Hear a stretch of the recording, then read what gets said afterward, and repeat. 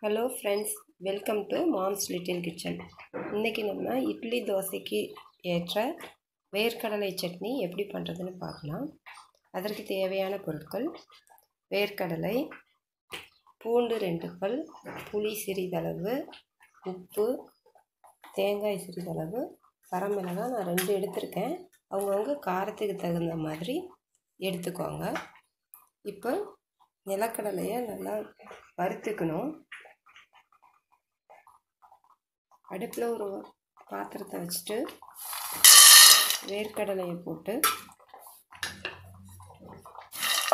ஒரு அஞ்சு நிமிஷத்துக்கு நல்லா வறுத்து எடுத்துக்கணும். கடலை நல்லா வறுக்கணும். வறுத்துடக்கூடாது அது கொஞ்சம் செவந்து வரணும். இந்த அளவுக்கு நல்லா வறுத்து எடுத்துக்கணும்.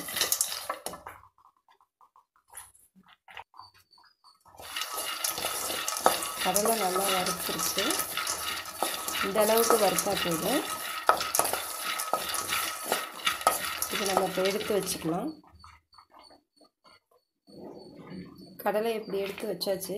இது நல்லா வந்து இந்த ஆறுனதுக்கப்புறம் இந்த தோலெல்லாம் இப்படி தேய்ச்சோம்னா இந்த தோலெலாம் விட்டுருவோம் அதில் இருக்கிற தோலெல்லாம் விட்டுரும்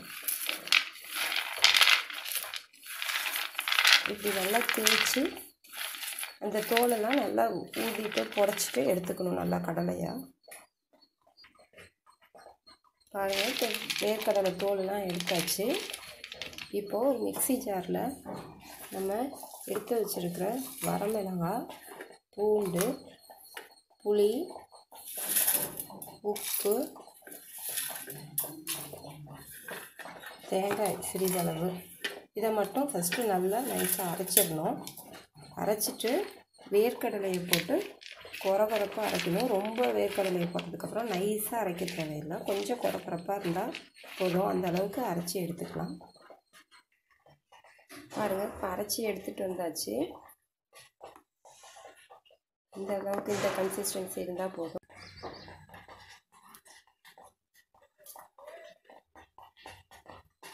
எண்ணெய் காஞ்சதுக்கப்புறம் கடுகு உளுத்தம்பருப்பு சிறிதளவு.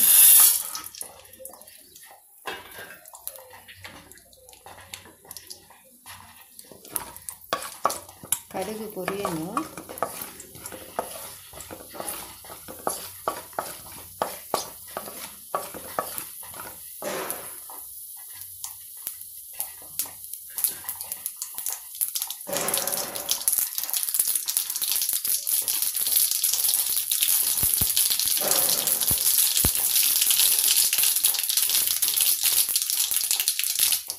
கடுகு பொரிஞ்சதுக்கப்புறம் பெருங்காயம் கொஞ்சம்.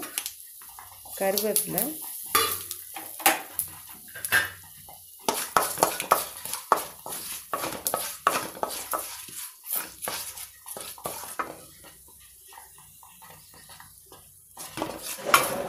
வதக்கிட்டு இதை சட்னியில் வேர்க்கடலை சட்னி மேலே இதை கொட்டு